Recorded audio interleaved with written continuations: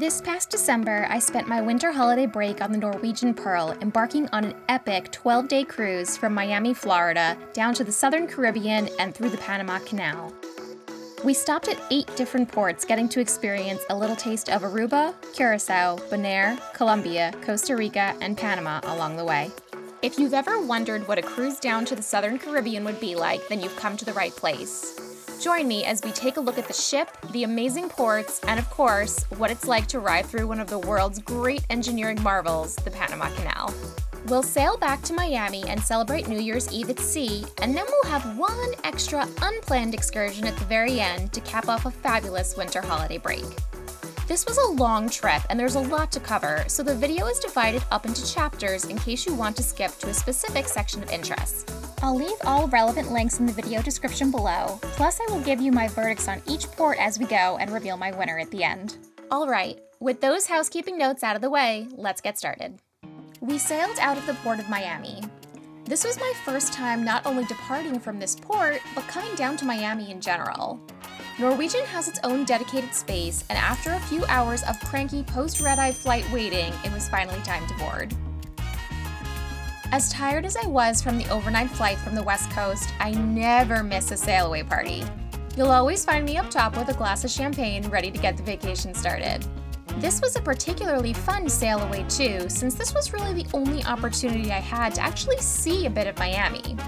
Not all port departures are scenic, but this was a fun one. And just like that, we were off.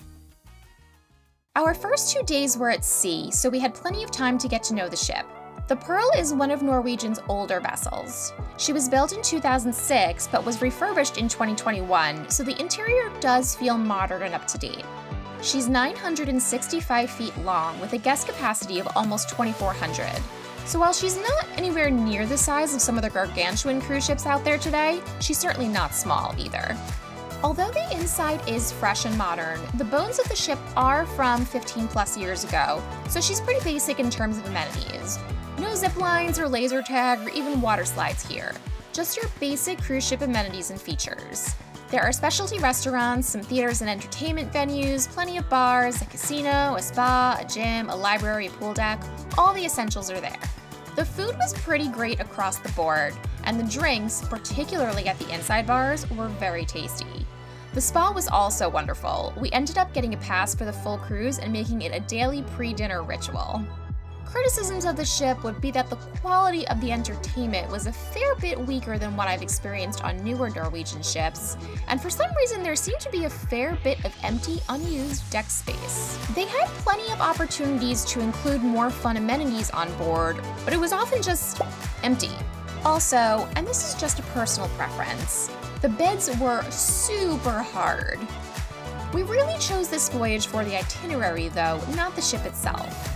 We had two sea days at the start and two at the end of the trip, and the Pearl had just enough to do to keep us occupied for four days. The bulk of the trip consisted of port days, so most days we didn't spend all that much time on the ship anyway. After two days at sea, we arrived on Christmas Eve at our first southern Caribbean port, Aruba. Part of the Dutch Caribbean, this one happy island is known for its dazzling white sand beaches. We booked an excursion through a third party company since none of the Norwegian options looked all that interesting. The bus met us right at the cruise port and we headed off to Palm Beach where we transferred to the catamaran that would take us out to the wreck of the SS Antilla for some snorkeling. The Antilla was a 400 foot long German passenger and cargo ship and is the third largest natural wreck in the Caribbean. The Antilla became stranded in the Caribbean when Germany invaded Poland in 1939, starting World War II. The Antilla was aiming for harbor in a neutral port, but when Germany eventually invaded the Netherlands in May of 1940, the Dutch authorities in Aruba tried to seize the ship. The German crew weren't going to just hand her over though, and they opened the valves, set some fires, and basically sank the ship. Today, the Antilla sits in two pieces, only about 30 feet down in the warm Caribbean waters. A rare opportunity to see such a large wreck up close without having to strap on dive gear. After the snorkeling, the rope swing on the catamaran was opened for a bit, and then we headed back to shore. We spent the rest of the day wandering down along the coast, stopping for lunch at a lovely beachside restaurant, heading back down toward the port of Oranjestad, where the ship was docked. Aruba's a pretty big island, so we didn't end up walking all the way back, but we at least got to see some more of the coast before it was time to grab a cab and get back on the ship. The verdict on Aruba? I thought it was really beautiful, but it's also very built up and very touristy. Do I want to go back one day and explore some more? Absolutely. Christmas morning, we docked at our next port, also part of the Dutch Caribbean, Curacao. While many people may not be able to find Curacao easily on a map, I'll bet most are familiar with its famous namesake blue liqueur. We booked our excursion through the cruise line this time, and actually all of the remaining ports we did end up going with one of Norwegian's offerings. Today's was a two-parter. First, we headed off to visit the Curacao Ostrich Farm, where we did a tour of the grounds, learned all about these gigantic birds, and even got to feed them at the end. Don't think I've ever done that before, but brace yourself if you ever go, it does hurt a little bit. Those beaks are big and powerful, and the ostriches do not hold back. Also got to stand on an egg to showcase just how strong those shells are. Next, we were off to visit the Hato Caves, which are the largest on the island. I love caves, so I was really keen on visiting these. The cave here is over 300,000 years old, and it's pretty easily accessible. You head up some stairs, and once you're inside, it's a pretty basic walk on a paved path, and there are handrails and just enough illumination to see where you're going without losing that cool, creepy factor. The weather was turning as we arrived at the caves, which ended up being great because we actually got a chance to see the rain coming down inside the cave. Such an unexpected treat.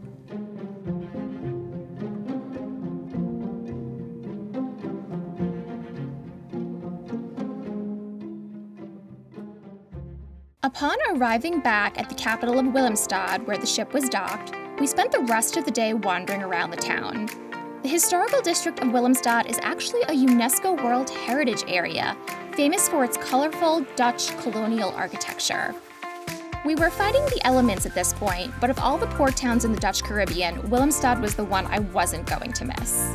Besides, there's no such thing as bad weather, just bad clothes.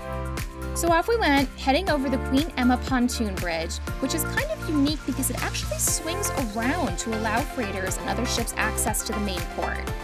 It was Christmas Day, so most of the shops and restaurants were understandably closed, but the historical district was still lovely to experience. We capped off the day in Curacao by buying a small bottle of, drumroll please, Blue Curacao. The verdict on Curacao? really interesting island, and one that I know I likely wouldn't have gotten to if it wasn't part of a larger itinerary. Not sure if I'll be back here again, but I was really glad that we got an opportunity to visit. Headed back on board for some evening Christmas festivities while we sailed away toward our next port.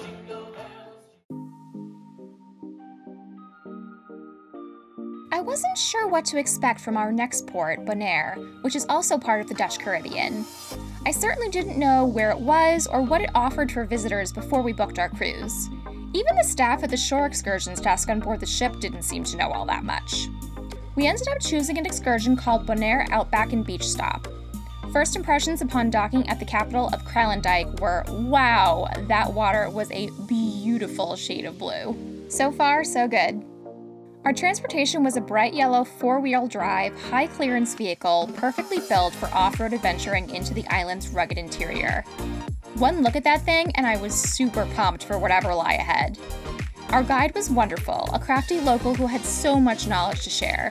We learned a ton, particularly about the native Yatu cacti and their many uses for it. We stopped often for him to give us information and even the occasional demonstration. I don't know what I was expecting, but riding off into a desert on a Caribbean island was definitely not it. I was so surprised at the topography and climate of the interior.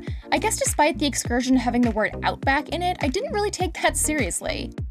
After riding around the remote part of the island's interior, we were taken to a place called Sorobon Beach, which turns out is a popular windsurfing spot. Oh, and it's also one of the most beautiful beaches I've ever seen in my life. No biggie. We didn't have a lot of time there and would have stayed behind on our own to extend the visit, but unfortunately the ship stop in Bonaire was a bit short and we didn't want to risk not getting a cab and getting left behind. Bonaire did have one more surprise up her sleeve for us though. Once we got back to the dock, we realized there was an awesome swimming platform right in front of the ship.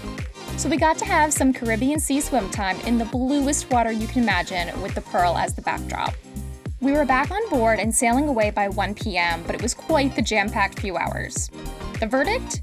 It was still early on, but I knew Bonaire was already a sleeper candidate for Best Port.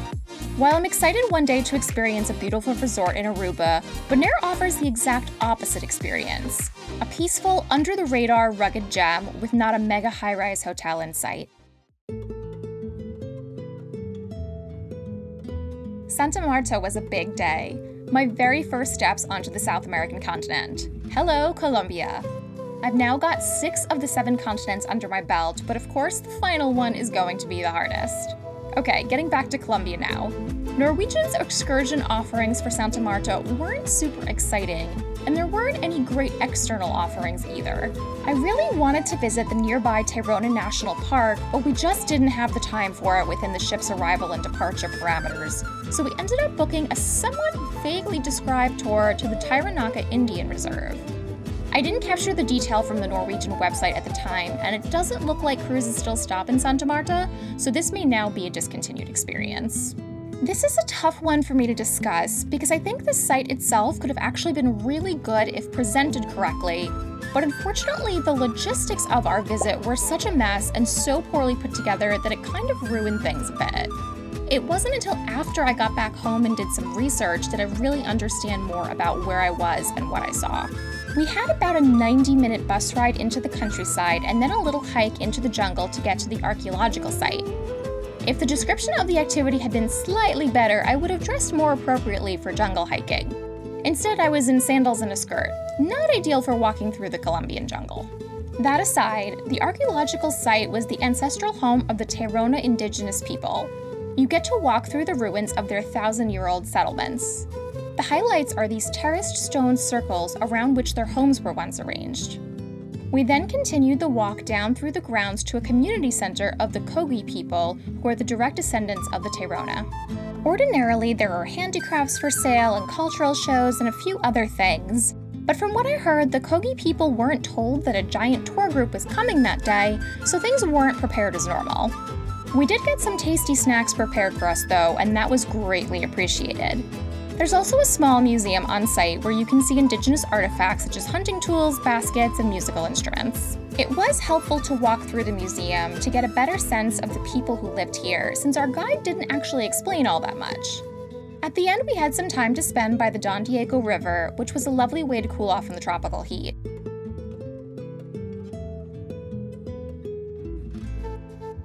We then hiked back through the jungle to the buses for the long drive back to Santa Marta. The verdict? I don't have much of an opinion on Santa Marta itself because I only saw a bit of the city through the window of the bus to and from our way to the archaeological park. The Indian Reserve and Archaeological Park itself had great potential to be a wonderful educational day, and the grounds were beautiful to walk through. But the organization was such a mess that the day was mostly just hot and confusing. A bit disappointed with Norwegian on this one. The next day was our second Colombian port, Cartagena.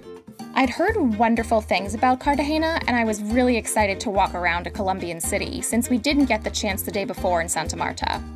We booked an excursion called Aromas and Flavors, which included a boat ride through Cartagena Bay, some food, some drink tastings, and a guided tour of Cartagena's walled old town, our second UNESCO World Heritage Site in the past four days. The excursion actually included two boat rides, as the cruise ship docks on an island across the bay. So we started off the day with a short little ride where we got some great introductory views of the harbor and town. After getting off the boat, it was a short walk to the entry point of the old town. You walk through a tunnel, and then the old town slowly reveals itself. Cartagena was founded in June of 1533, and this colonial walled city was designated by UNESCO in 1984. It took about five seconds for me to understand why. This historical area is absolutely breathtaking. There's a reason Cartagena is so popular for tourists. It's truly like stepping back in time. Our guide was wonderful. He was such a wealth of information and kindness, and really brought the rich, complex history of this town to life. The walled city is very easily explorable on foot, and at the end of the tour, we were given about 45 minutes of free time to explore on our own. Ugh, I wish we'd had more time here. We debated on how best to use the free time we had, and in the end, we just wandered around some more, checking out as many streets as possible.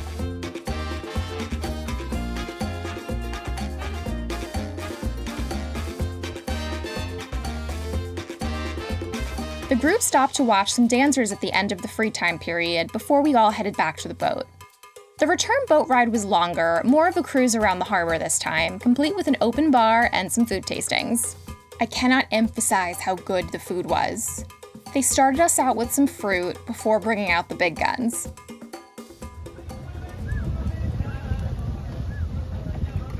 That's so good. We probably had six different types of street food, along with rum based cocktails. That rum was delicious and went straight to my head. It is probably my greatest regret of the trip that I didn't find out exactly what kind it was. We cruised around the harbor for a bit while I merrily stuffed my face before heading back to the Pearl. We had a little time left at the end, but the cruise port is pretty isolated from the rest of the city, so we decided to check out Cartagena's cruise port village, and it was actually kind of fun, although I was a smidge tipsy at this point. But they had a nice store and a little zoo area where I followed around some peacocks and gawked at macaws. We maxed out our time and were one of the last to get back on board. The verdict? Yes, yes, yes. Go to Cartagena, spend more time there than we did, and eat everything. Definitely a candidate for best port. The Panama Canal. One of the world's great engineering marvels, this day was a highlight for mostly everyone on board, and for many people was the main reason they booked the cruise. We, of course, approached the canal from the Caribbean side, and we're going to make our way through the Gatun Locks before exiting at Gatun Lake, the central reservoir that holds the water supply that operates the lock system of the canal. Our itinerary was only to do a partial transit, so we never exited out onto the Pacific side. Instead, the ship would turn around inside the massive lake and head back out to the Caribbean. I do have a separate video that is a more in depth look at the experience of crossing the canal, so be sure and check out the link above if you want to see more. I spent most of the canal crossing shifting all around the ship to get the best view. The top deck of the bow was obviously quite crowded, but I was able to get great views from the sides of the ship and from the stern as well. In some ways, those areas were more fun. I loved watching the little electric locomotives that guide these giant ships through the narrow locks, and the sides of the ship give you a wild perspective on how crazy it is to put enormous freighters into what are basically tiny water elevators. It was some good nerdy fun seeing all the different kinds of freighters go through the canal, but apparently for them it's entertaining to watch a cruise ship do the same. So many people on the decks of the freighters going in the opposite direction were taking pictures of us. To them, we were the novelty. I finished watching the transit through the massive front windows of the spa.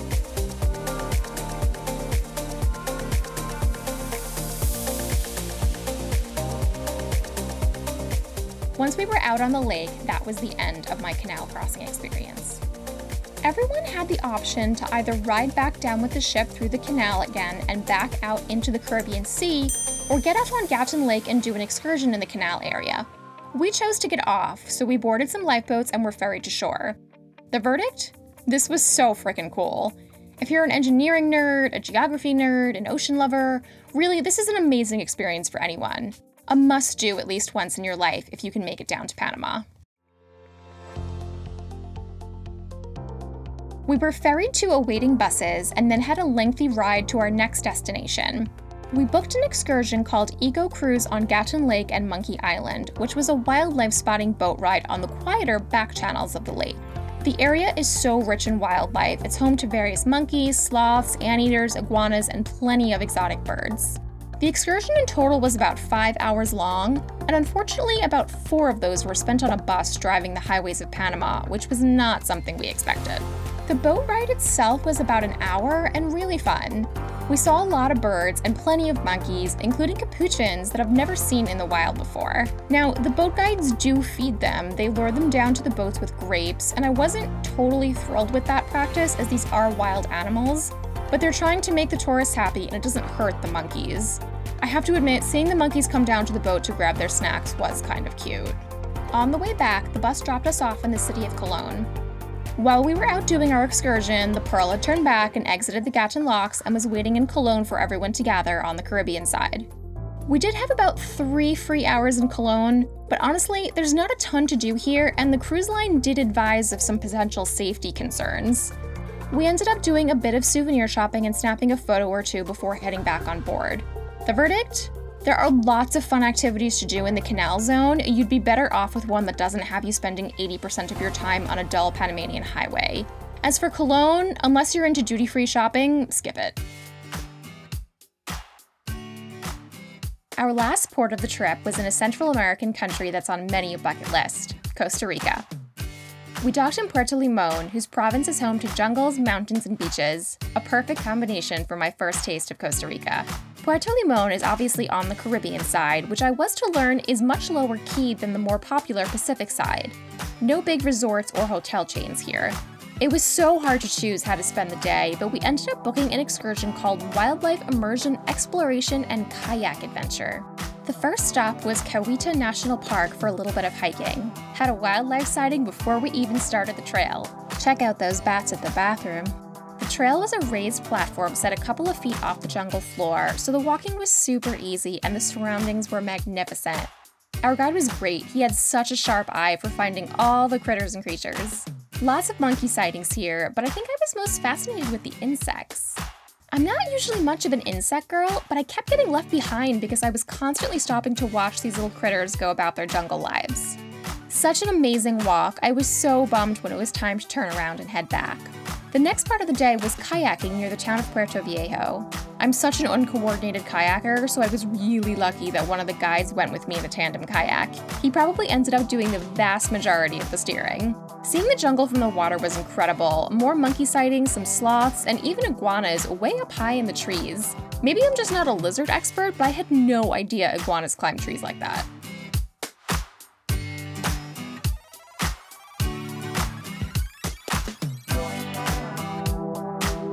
Kayaking, we were given free time for lunch in the town of Puerto Viejo.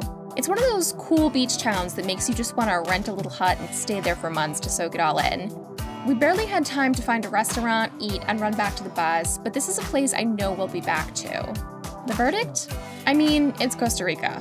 It's world renowned for a reason. And while I'm curious to see the Pacific side eventually, I think I might be more of a Caribbean side girl. Costa Rica definitely lived up to the hype. We even had a serenade at the dock for departure.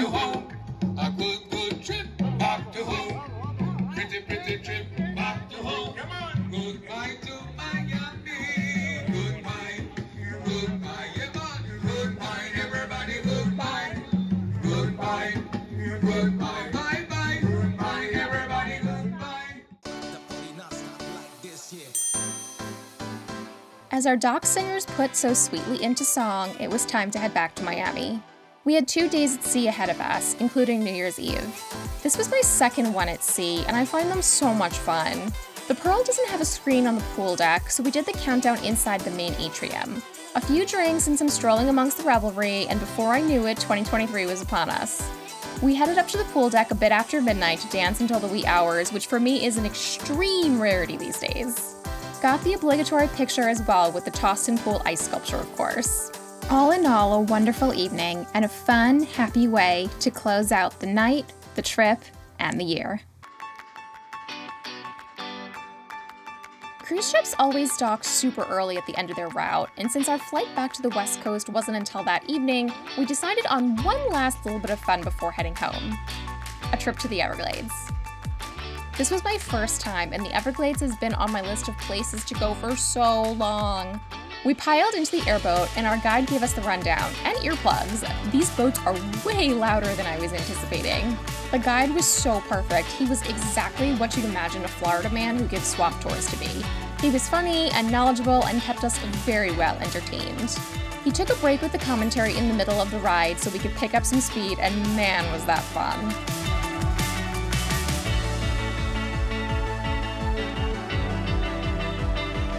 The gators we finally spotted toward the end of the tour. They're regulars, and the guide knew them individually and was able to share some detail about them. Gators in the wild, perfect way to close out an epic trip. This was the longest cruise I've ever done, and now I feel like I can't ever go back to the shorter ones. I loved being able to really settle into life on board, to have time to try all the food and the drinks and the activities, and not feel rushed. Eight days of ports plus a trip to the Everglades, the experience went beyond expectations. So, who's my winner for Best Port? Ugh, this is hard. My top four, because I couldn't just pick three, in alphabetical order, would be Bonaire, Cartagena, Panama Canal, and Puerto Limon. Okay, now who's my winner? Honestly, this is really tough, so I'm gonna do a bit of a cop out here. If I had to recommend to someone who'd been to none of these places what the highlight of the cruise would be, I'd have to say the canal transit. It's such a specific bucket list experience, and it's something anyone who loves travel, ships, or the ocean should experience once in their lives. Now, if I had to pick what's the one port on this itinerary that I'm going to head back to first for further exploring, Puerto Limon. It's a great base for exploring what the Costa Rican Caribbean side has to offer, and Costa Rica in general is right up my alley. Sloths and monkeys and jungles and mountains take me back to tomorrow. Thanks for coming along with me on my 12 day cruise through the Southern Caribbean and Panama Canal. If you enjoyed this video, please give it a like as it helps the video grow. I've got a few other cruise videos too, so check out the playlist above if you'd like to see more. Thank you so much for watching and checking out my channel. Please do subscribe if you'd like to join me for more future travel adventures. Hope to see you soon, and until then, happy travels.